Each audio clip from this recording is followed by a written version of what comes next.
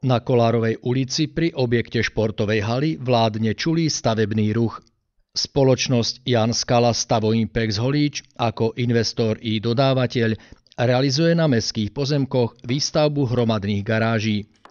Je to ďalší krok k systémovému riešeniu nepriaznivej situácie s parkovaním v najexponovanejšej lokalite Holíča.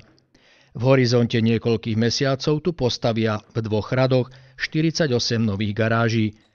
Predpokladaný termín ukončenia je apríl 2017.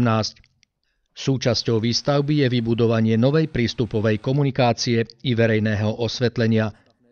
Podľa projektovej dokumentácie tu vznikne aj 12 parkovacích miest s kolmým státím.